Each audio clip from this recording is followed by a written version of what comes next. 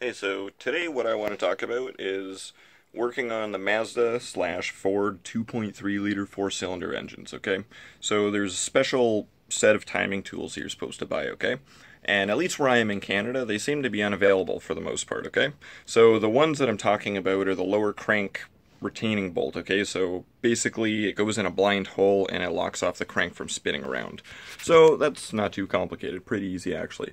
Um, they want a hundred bucks for the bolt, the dealership, and online Amazon, you name it, I can't find it. Okay, so the culprits in question here, we have the bolt that goes in the crank hole. This is the blind bolt or blind plug. So what you do is you go to your local friendly hardware store. Um, went to TSC at this point. You can go to CarQuest, any parts supplier.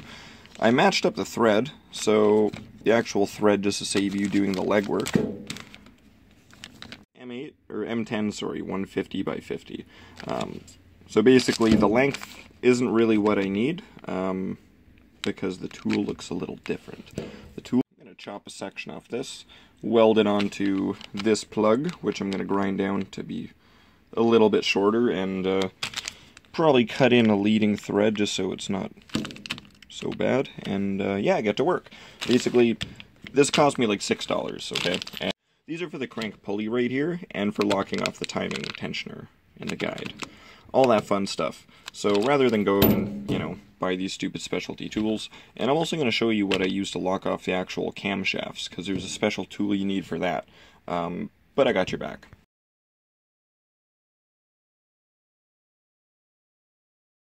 So I'm back, and uh, so this is the tool that I ended up making. I just want to show you here.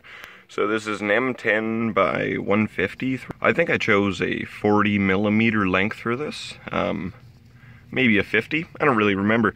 Either way, um, I drilled a hole in the end of it, and it was a 13 16 hole. Then I tapped it with quarter inch coarse, and then I chopped a bolt off and stuck the threaded end in. And what that does is that lets me actually adjust it out and adjust it in. And it's easy to switch out tips. So if I need a longer bolt with the same thread, this tool is now like no longer just a single purpose. Um, I could swap out the end piece and I could use it on the Zetec engines, you know, the 60 mil bolt instead, whatever. And I also cut that, yeah, it's kind of ugly, but I cut it like that so, um, so I can actually fit it in the hole here. So here's a moment of truth. Now I've already actually had this in the hole, so it's not really a moment of truth. More like a moment of already fucking know it works. Now, the other thing I did, okay, because yeah, it's sketchy. I'm using a bolt to set the timing. And, you know, not gonna say whether or not this is a customer's car or not, but I don't own the car.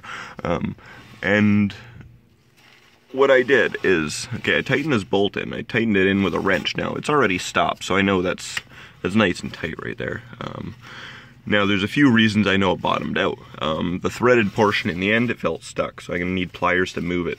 That in indicates to me that the bolt was pushing down on the little threaded end piece in there, and it squished a little. Perfect, that's fine. Um, now I took this bolt out, and the pulley spun around away, but it would not spin towards. And uh, it seems to be locked off pretty well because anytime I move the engine counterclockwise, it wants to rest back to this TDC position. So my bolt is actually working and I'm ready to disassemble. And I didn't use a stupid timing peg from Ford and uh, when it's all thrown back together, the proof will be right there that it works. I mean, you do need a vernier, you do need a bench grinder, you need a drill press, you need bottoming taps, you need some specialty shit to do this. But if you have it laying around, save yourself some money, make the damn tool. Okay, so now the crankshaft pulley has been removed. The crankshaft is actually locked off with that special bolt. Um, as you can see, my bolt is butted up against the weight in there.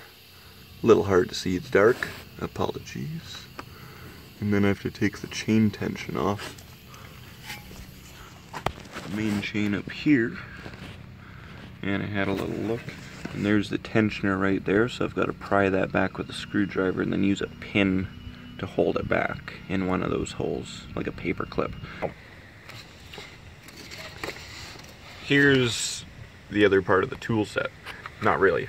So what this is, is 3 eighths or 3 16ths, sorry, by 12 inch square key stock.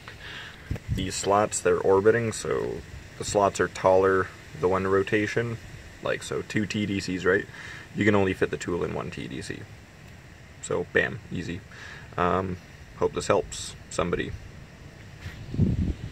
This really sucks to do.